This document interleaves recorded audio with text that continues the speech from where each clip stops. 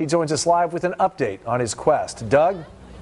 And here's the deal, Carlo and Barbara Lee. This game is so big that San Diego State only issued us one credential to get inside. That means I have to fend for myself. Luckily, CBS 8 gave me a hundred bucks to try to find a ticket.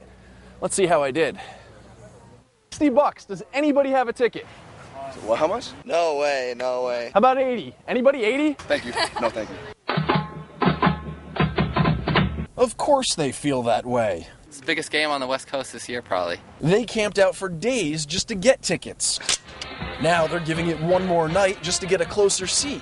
When I offered 80, I thought I heard a yes from you. Eight bucks?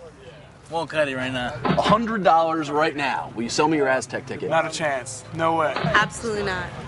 $100. Nope, can't do it. Face value on the tickets is only 22 bucks. Craigslist are going for like $300, I think. Maybe if it was like a million dollars or something. A million dollars.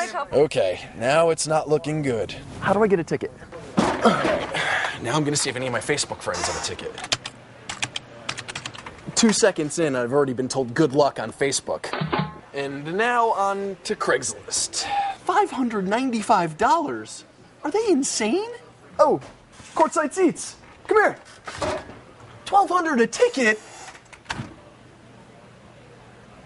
And back out live here at Viejas Arena, you see everybody camped out. This is for the general admission. They will be the first people in the doors tomorrow, right before tip off. And guess who's going to be joining them?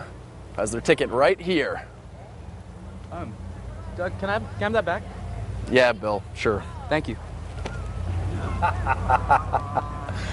Hmm. So sad. I'm putting money on Doug getting in if betting was legal.